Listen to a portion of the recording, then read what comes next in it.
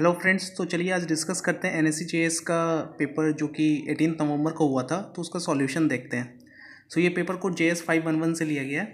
तो इस from question number forty one इसमें बोला है कि let A B be a diameter of a circle C one of radius thirty centimetre ठीक है तो पहले एक सर्कल हम लोग ड्रॉ करेंगे जिसका रेडियस हमारे पास दिया हुआ है थर्टी सेंटीमीटर ठीक है ये सर्कल सी वन है। एंड विथ सेंटर ओ इसके सेंटर को हम लोगों ने ओ माना है। C two and C three of radii fifteen and ten centimetre touch C one internally at A and B respectively A और बी के साथ साथ सी टू जो है, वो इंटरनली टच कर रहा है ओके तो इस तरीके से बनेगा। इसका रेडियस 15 सेंटीमीटर है तो ज़ाहिर सी बात है, अगर रेडियस 15 सेंटीमीटर है तो डायमीटर इसका 30 सेंटीमीटर हो जाएगा, जो कि इस बड़े वाले सर्कल सी1 के सेंटर से पास होता हुआ जाएगा ओके तो सी टू इस तरीके से बनेगा और सी थ्री जो है, उसका रेडियस बोला है टेन सेंटीमीटर तो वो तो सेंटर से नहीं पास होगा।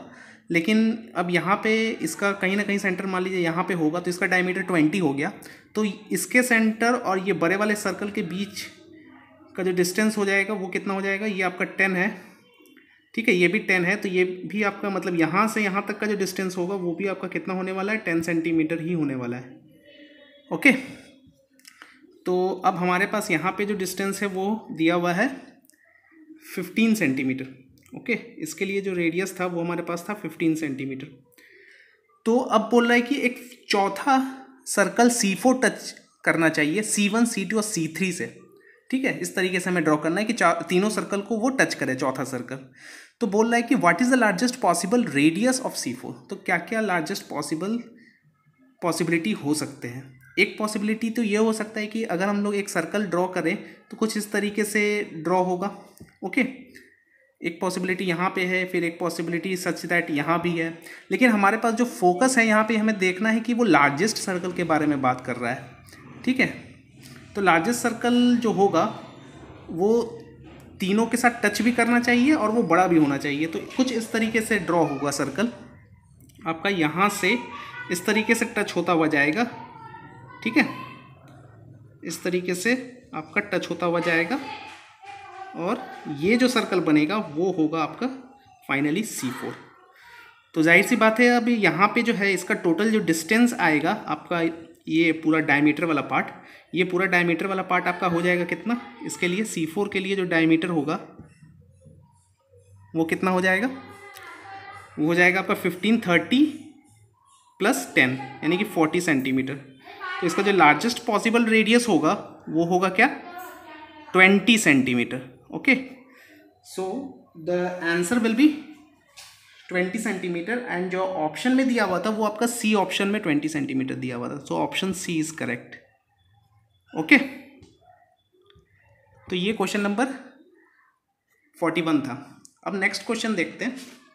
नेक्स्ट क्वेश्चन में क्या बोल रहा है कि एक five into five into five cube है, ठीक है? उसको बिल्ड किया गया है using unit cubes how many different cuboids that differ at least one unit cube can be formed using the same number of unit cubes okay यानी कि एक इंटू एक का यूनिट क्यूब से हमें फाइव इंटू फाइव का unit cube बनाया गया है तो इस तरीके से बनेगा।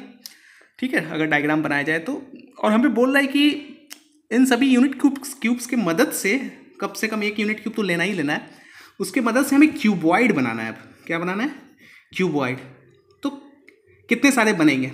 How many can be formed different cuboids है ना? तो अब ज़ाहिर सी बात है, अब हमें यूनिट क्यूब बनाना है तो sorry unit cube sorry cuboid बनाना है अलग अलग तो क्यूबॉइड बनाने के लिए अब हमें इसमें तो लेंथ भी चाहिए होगा ब्रेथ भी चाहिए होगा हाइट भी चाहिए होगा, इस क्यूब की मदद से बनाना। है तो ये जो, ये वाला जो एक क्यूब है, अगर इसको सोचें तो यहाँ पे आपका एक यूनिट क्यूब यहाँ पे है और एक यूनिट क्यूब यहाँ पे तो इसका जो अंदर वाला जो लेंथ होगा वो भी आपका कुछ इस तरीके से होगा है ना? अगर इसको सोचा जाए ऐसे तो।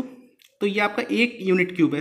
फिर ये और ये जुड़ करके एक क्यूबॉइड बनेगा ठीक है? फिर ये और ये वाला पूरा जुड़ करके भी क्यूबॉइड बनेगा।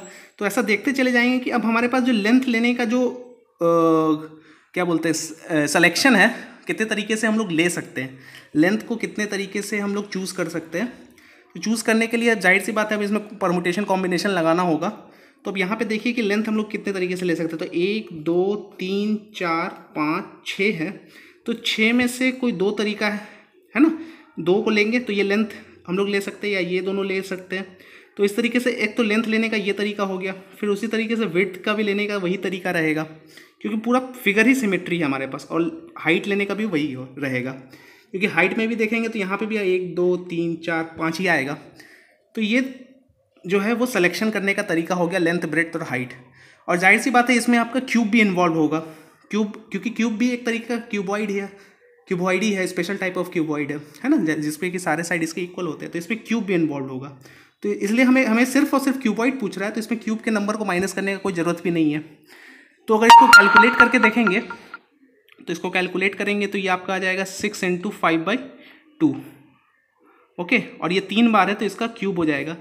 इसको कैंसिल करेंगे तो ये फाइव इंटू थ्री फिफ्टीन का cube okay and after solving इसको सॉल्व करने के बाद हमें जो मिलेगा, वो मिलेगा थ्री थ्री सेवन फाइव यानी इतने सारे क्यूबॉइड बन सकते हैं।